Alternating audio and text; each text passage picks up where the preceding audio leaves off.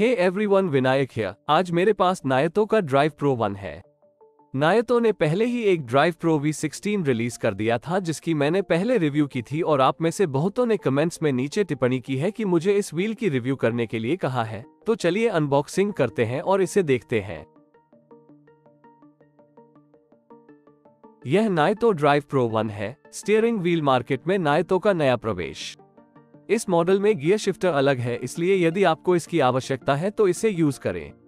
नाइतो drive pro एक PC P S चार, Xbox One और Xbox series X slash S पर वर्क करता है। व्हील में 270 degree steering, rumble vibration, zero dead zone है और मल्टीपल यूएसबी स्टैंडर्ड सपोर्ट करता है। स्टीयरिंग व्हील इस तरह दिखता है और जिस तरह से बटन व्हील पर ही एक्सेस किए जा सकते हैं, वो मुझे पसंद है। अधिक फीचर्स को बॉक्स के किनारे चिन्हित किया गया है।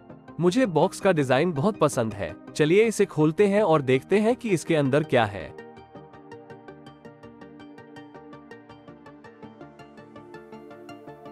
यहाँ पहला आइटम गियर शिफ्टर है। क्रोम फिनिश इसे एक अच्छा प्रीमियम लुक देता है। गियर शिफ्ट केवल ऊपर और नीचे होते हैं, जैसा कि आप इसे एक में करते हैं ऑटोमेटिक वाहन। पिछले हिस्से में ये कनेक्टर है जहाँ आप व्हील से जुड़ेंगे और यह वो केबल है जिसका आप उपयोग करेंगे। टेबल पर माउंट करने की अनुमति देने के लिए स्क्रू खुलता है। यहाँ पैदल है, वे वास्तव में अच्छे दिखते हैं।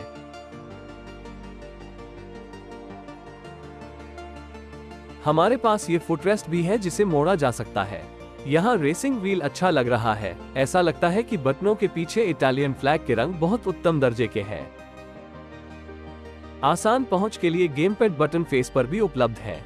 नीचे होम सेटिंग्स आदि दी गई हैं, जिन्हें आप जो खेल खेल रहे हैं, उसके अनुसार मैप किया जा सकता है। नेटो लोगो में ये पीएलएसएन रंग होता है, जैसा कि प्रकाश इसे हिट करता है। गेम पैड बटन एक्स या स्क्वायर वाई या ट्रायंगल बी सर्कल और, या एक्स रबर है साइड में ग्रिप अच्छी देती है और अच्छा लुक भी देती है।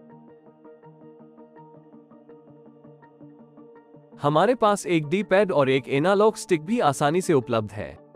हमारे पास 270 डिग्री का टर्निंग रेडियस है, ठीक वैसे ही जैसे आप किसी असली कार में करते हैं। पीछे तीन पोर्ट हैं, पहला पैडल के लिए है, दूसरा गियर शिफ्टर के लिए है और तीसरा जब आप एक कंसोल से कनेक्ट कर रहे हैं जो एक कंट्रोलर कनेक्ट करने के लिए एक यूएसबी पोर्ट है। हमारे पास दोनों तरफ़ पैडल शिफ्टर्स हैं। व्हील यूएसबी का उपयोग करके गेमिंग डिवाइस से कनेक्ट होता है। बॉक्स में शामिल एक कनेक्टर यूएसबी से यूएसबी सी केबल और यूएसबी से माइक्रो यूएसबी केबल है। नेटो ड्राइव पर पहिया को माउंट करने के लिए कुछ पेंच एक ग्राहक सेवा कार्ड स्टिकर सुरक्षा नोटिस सक्शन कप है। यह वो जगह है जहाँ सक्शन कप स्थापित किए जाएँगे यदि आप टेबल क्लैंप का उपयोग नहीं करना चाहते हैं और इस तरह वे लॉक करने के लिए इंसेट और ट्विस्ट करते हैं। मुझे यहाँ इस मैट के कारण टेबल से न चिपके रहने की समस्या थी, इसलिए मैं वापस क्लैंप्स पर चला गया। ये क्लैंप इन ट्विस्टेबल स्क्रू का उपयोग करके खुलते हैं। प्रत्येक पक्ष के लिए यह मैक्स पर भी मेरी टेबल पर फिट नहीं होता है, इसलिए आपको इन एक्सटेंशन को हटाने की आवश्यकता होगी। यदि आपको व्हील को छोटी टेबल पर स्थापित करने की आवश्यकता है तो स्क्रू को सुरक्षित रखना सुनिश्चित करें। एक्सटेंशन हटा दिए जाने के बाद ये पूरी तरह से काम करता है। इसी तरह अगर आपका गियर शिफ्टर फिट नहीं होता है तो आप स्क्रू के शीर्ष को हटा सकते हैं, और अब ये बहुत अच्छा फिट हो गया है और यह कहीं भी नहीं जा रहा है। अब पैडल स्थापित करने के लिए बस इस केबल को पीछे के पोर्ट से कनेक्ट करें। अब गियर शिफ्टर रेसिंग व्हील को अपने पीसी पर यूएसबी पोर्ट में प्लग करें और हो गया। आप इस पर्पल प्रकाश को यहाँ देखेंगे कि पहिया अब डी इनपुट मोड में है। चार एलईडी मोड पीसी पर पर्पल डी इनपुट मोड है। पीसी पर yellow X input mode blue play mode है और ग्रीन एक्स बॉक्स मोड है निंटेंडो स्विच के लिए एक रेड भी है। मैंने पीसी पर एसेटो कोर्सा जैसे कुछ गेम खेला। इस गेम में एक सीखने की अवस्था है, आप अधिकतम गति पर ड्राइव को फ्लैट आउट नहीं कर सकते हैं और इस तरह पैदल है।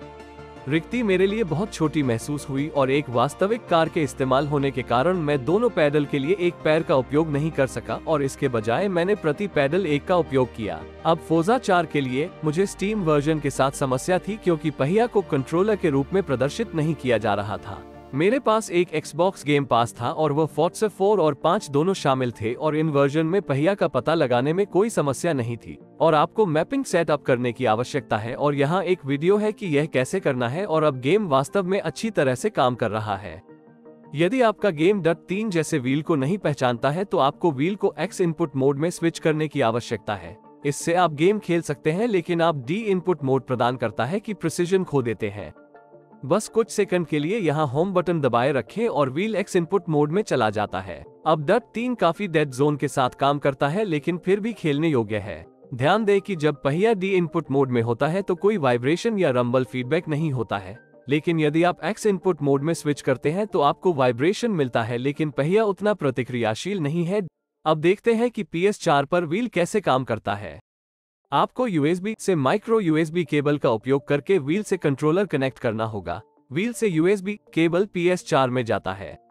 अब कंसोल चालू करें और होम बटन का उपयोग करें जो पीएस बटन के बराबर है। एलईडी ब्लू रंग में चमकता है जो दर्शाता है कि यह प्लेस्टेशन मोड में है। अब पहिया का पता चला है और आप डी पैड या यहाँ तक कि एनालॉग स्टिक का उपयोग करके इंटरफेस के माध्यम से स्वाइप कर सकते हैं। यहाँ बताया गया है कि हम ग्रैंड टूरिज्मो के भीतर इंटरफेस को कैसे नियंत्रित कर सकते हैं। कंट्रोलर को उठाए बिना मैप्स आदि चुने। ये ऊपर नीचे बाएँ दाएँ दिशा नियंत्रण है जो हमें ऑन स्क्रीन के बीच स्थानांतरित करने की अनुमति देता है। नियंत्रण इतने प्रतिक्रियाशील है कि यह खेलने को इतना मज़ेदार बना देता है।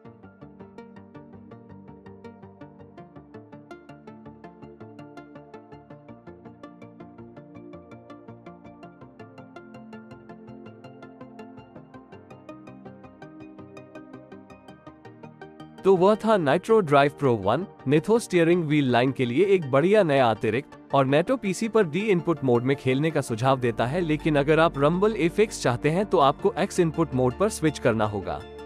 मुझे लगा कि वाइब्रेशन की तुलना में प्रिसीजन मेरे लिए अधिक महत्वपूर्ण है, इसलिए मैंने डी इनपुट मोड में खेला और रेसिंग व्हील मेरे PS4 और पीसी पर वास्तव में अच्छी तरह से काम करता है और ध्यान दें कि यह केवल वाइब्रेशन और रंबल का समर्थन करता है जैसा कि इसे कहा जाता है और कोई वास्तविक बल प्रतिक्रिया नहीं है जहाँ पहिया वास्तविक कारों की तरह बंद हो जाएगा और वापस लड़ेगा, लेकिन फीडबैक रेसिंग पहियों को तीन से पाँच गुना ज़्यादा खर्च करना होगा।